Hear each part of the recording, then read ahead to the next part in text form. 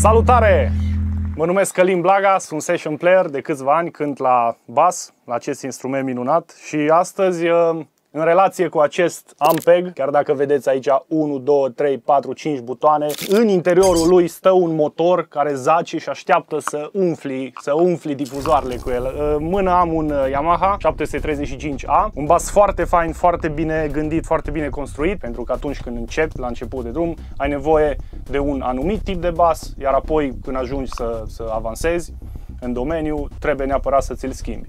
Sunt și basuri care sunt uh, pasive din fabrică sau active din fabrică și sunt și basuri cum e acesta care au uh, circuite active și pasive în același, uh, în același instrument. Schimbarea dintre ele două se produce uh, activând uh, sau mișcând acest uh, switch. La început, e foarte important să-ți găsești tonul tău, să-ți găsești sunetul pe care vrei să-l auzi și să-l incorporezi în trupa, în trupa în care cânti. Aș merge pe un bas de genul acesta pentru că ai, e foarte versatil. Circuitul activ are un sunet mai plin, cu output mai mare, practic, și circuitul pasiv are un sunet mai subțire și cu un output mai mic. Când mergi într-un magazin de muzică și vezi pe pereți o grămadă de basuri, zici, mamă, ce fac acum, că nu știu pe care să mi-l iau. E foarte important să-ți faci un research înainte, pe internet, ca să știi cum sună instrumentul respectiv și să știi cam în ce zonă ai vrea să te duci tu ca și sound, în funcție, din nou zic, de trupa în care cânti sau cum vrei tu să, nu știu, poate ai un proiect solo, de exemplu. Vezi basuri cu 4 corzi, basuri cu 5 corzi. E foarte important la început, după părerea mea, să încep cu basul clasic, un bas cu 4 corzi. Pentru că dacă mai adaugi o coardă, deja se schimbă și teoria, se schimbă și modul de a cânta. Uh, coarda a 5 are un sound mai gros, poate soundul ăsta nu-l cauți tot timpul. Și atunci e foarte bine să te limitezi la aceste patru corzi, care sunt destule de cele mai multe ori. Acum îți voi arăta câteva tehnici prin care tu poți să faci slap la bas, să cânti cu tehnica aceasta. Deci odată poți să lovești coarda în același unghi cu, coar- cu, cu coarda, da? degetul în același unghi cu coarda și trebuie să treci prin coardă, practic. Sau există varianta care a fost făcută populară de Flea, de la Red Hot Chili Peppers, și anume degetul să fie perpendicular pe coardă și lovirea să se facă practic nu, uh, nu prin uh, trecerea degetului după coardă, cum este la tehnica de dinainte, ci efectiv doar lovirea ei. Eu prefer să folosesc tehnica aceasta. De cele mai multe ori, slepurile se învață cu octave. Da? Luăm, de exemplu, nota mică octava ei aici. Da? În tehnica pe care o folosesc eu, degetul trece prin coardă, lovește coarda, iar mai apoi, de desubt, degetul, uh, indexul, ridică coarda cealaltă, din, de la octavă, uh, coarda sol. Încă. Da. Și pentru început. Bun. Și începi.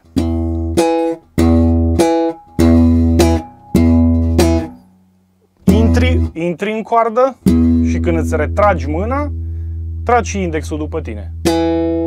Cam așa funcționează. Tehnica cealaltă pentru viteză.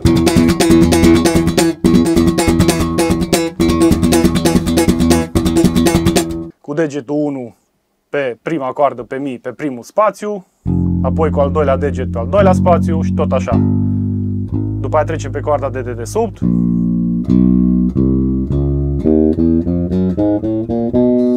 Urcăm un spațiu și mergem înapoi. Bun. Și lovești coarda. Treci pe următorul spațiu, pe următorul spațiu și tot așa.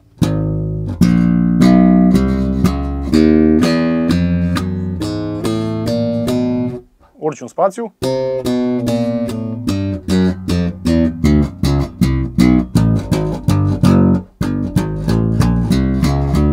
Și faci chestia asta până când ajungi pe spațiul ăsta de aici. O să dureze mult, dar o să te ajute foarte mult pentru că o să vedeți când o să încercați, e destul de greu să nimerești fără să te uiți cu degetul mare coarda respectivă. Și de aia trebuie exersate fie, fiecare, trebuie exersată fiecare coardă în parte. Există posibilitatea la această tehnică să și reveniți cu degetul. Deci după ce intrați practic în coardă, când reveniți cu degetul mare, o trageți. Ca și cum folosiți aici indexul la coarda aceasta, numai că în cazul ăsta folosești un singur deget.